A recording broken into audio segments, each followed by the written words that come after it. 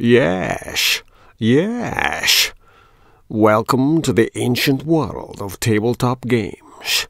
I am Agamemnon from the historical documentary Time Bandits.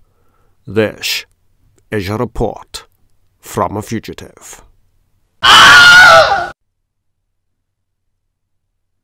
The original Lazy Susan was a board gamer who hired a butler, Stanley Catan, to move her playing pieces in games of Monopoly. Stanley Catan went on to influence the design of a game called Carcassonne. Susan Ludology, on the other hand, faded from the gaming scene during the Great Dice Crash of 1936. And that is a board gaming fact. Let's turn the tables on turntables. For those of you watching in black and white, this compartmentalized turntable is green on the left and red on the right. And for those of you with difficulty telling left from right and green from red, bless your hearts. I held credit left over from a Dogmight Games purchase that couldn't be fulfilled, so I had the company spin this turntable into the parcel. It's not the first Lazy Susan to grace the video studio. Why did I bother with a turntable at all? For reasons of gameplay, of course. This version has compartments for snacks at the gaming table. Obviously, that's not true. It's partially true worldwide, but that's neither here nor there. Table management is an important part of gaming. Beyond the playing of games, table management is also a vital component, an essential cogwheel in making videos about games. Storage boxes with awkward lids do not make for great on-table arrangements, especially if the items stored in those boxes are cardboard counters that'll take to the skies like confetti in a hurricane if you cause the slightest bump. You will cause that bump, but it certainly won't be slight. It'll be the great dice crash of 1936 all over again, but cardboardy. Eh? Originally, my plans for this lazy Susan were complicated by the insane desire to include magnets. I considered a cover for the turntable. One option was to aim for a rubber disc the size of the turntable and use that to reduce the glare from overhead studio lights. Circular rubber mats were readily available, just not in the size and thickness I wanted. The alternative was to take a rubber square and trim the corners. The material has its pros and cons. One of the main problems of trimming a square rubber sheet to fit a wooden turntable was that, frankly, I couldn't be arsed. This is a technical term. Another option was to fit a black pillowcase to the turntable, cut away the excess material to allow decent clearance underneath, and, on the advice of a seamstress, just glue the fabric to the wood. This project wasn't high on my list of fun things to do. It hovered slightly below having my teeth knocked out with a toffee hammer.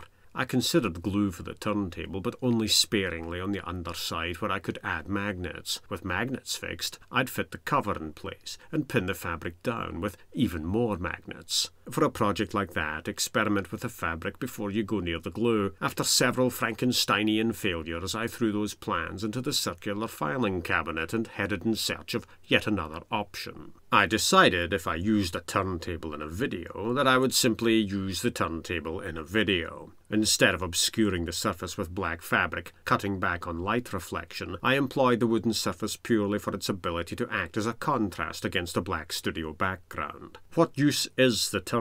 That's easy, whatever use I put it to. Not really for displaying figures. Painting channels have their tiny electric turntables for showing off finished models. You'll see painted and unpainted miniatures on this channel, and I'll even throw them onto the Lazy Susan for you, but I'm not going electric. I'll veer off into talk of a failed Kickstarter, which I didn't back. It was around a year before I looked at Kickstarter for board games. The Lazy Gamer was a board game accessory offered in 2016. Let's call it a Lazy Susan for game boards. Here's a mock-up. Instead of standing and walking around the gaming table, instead of stretching an arm all the way across the board, rather than asking another player on the far side of the board to move a playing piece for you, lo, and indeed behold, there was another way. Slap the game board on a turntable and revolve the entire fucking thing for the player's convenience. The turntable was sturdy, made to a high standard, well balanced, and with plenty of clearance for the rectangular surface to pass over any player boards and individual playing pieces not on the main game board itself. I feel that the Lazy Susan for game boards over-engineers a solution to a problem that doesn't exist. Get off your backside and move around the table. Reach across the table. Ask another player to make it easier on everyone by moving this monster or that hero on your behalf. Though I knew about Kickstarters for games and accessories, I wasn't dipping my toe into that bottomless ocean at that time.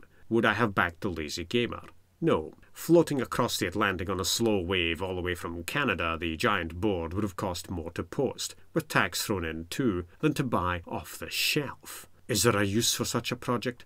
I almost see a use for a Lazy Susan large enough to hold a massive game board, and that's for video production. Instead of rotating camera heads to film awkward board designs, I'd turn the board. Except that's bullshit in this studio space. For a small board, I'd turn the board without using a gadget, and a very large board wouldn't clear the rear of the studio, the shelf to the left, the side table to the right, or the camera rigging at the front of this table. No. If I want to film 2nd edition Arkham Horror with its portrait game board design, I turn the camera head on its swivel mount and watch out for a change in cable length leading back to the computer. That's about it for fiddliness, and believe me, that's more than enough. Why did the lazy gamer fail? The Kickstarter asked for a mere 10 grand. What did 10,000 Canadian dollars buy you in 2016? Not a one size fits all woodworking process, that's for sure. The project raised around eight times the asking price on the Kickstarter page, and even that excess was nowhere near enough to run a woodworking shop for a niche product. I see 32 backers went in at a dollar, dodged a bullet there. Board game turntables and frames exist, notably for Scrabble. There are jumbo sized Lazy Susans and rubber coated turntables out there. Hell, just buy a round table on wheels if you're that reluctant to get up and move across a room. Mind your legs, though. If you don't care about marking your game, clamp a moderate sized board to a Lazy Susan, or drill a rectangular wooden board, bolt it to a Lazy Susan, and then slap your game board on top of that if you must. There are games with round boards out there, though they tend to be of the jigsaw variety. Turntabling them is bound to prove more trouble than the exercise is worth. Why then do I use a Lazy Susan? Video production. For game purposes, if I decide to film a game with a collaborator across the sea, perhaps that game sings its siren song, demanding an all round approach. The Climbers would be the best example. I've played this game in the wild and marched around the kitchen table to get the most out of the exercise. When filming, there's no other way around it. You have to go around it and that really is a board gaming fact. I might use a turntable to film a game of Santorini. Certain card games benefit from a tightly run turntable layout. As for the lazy gamer, when people go looking for that sort of solution, they head in the direction of an oversized lazy Susan, or they don't go looking for that sort of solution at all. What happened to the lazy gamer? You can scroll through the updates on Kickstarter, those that aren't barred to the casual reader. Posts for backers only are either good news exclusives once in a very blue moon, or the other kind of posts the mouldy ones. There's a Lazy Gamer Kickstarter post that dives into mind numbing detail on how things went wrong, including a photo of a missing digit, so the squeamish should beware. Perils of woodworking. The Lazy Gamer I think of that gadget when I think of turntables on gaming tables, and I know I have this one for video purposes and this other one for table management of game components. To go further than this basic equipment is to hire a butler. That's pretty much where I came in. Well, what goes around comes around. Ask yourself why you would need a turntable. The answer is convenience in the space available. I speak from the sobering experience of having played games in the most awkward locations imaginable and unimaginable. Sometimes I wonder at the most ludicrous places people must have gamed in. I'm convinced the world record is still a game of backgammon played inside the intestinal tract of a resurrected dinosaur. Yes, I'm sure the players used a turntable. Just a gut feeling, a rumour circulating.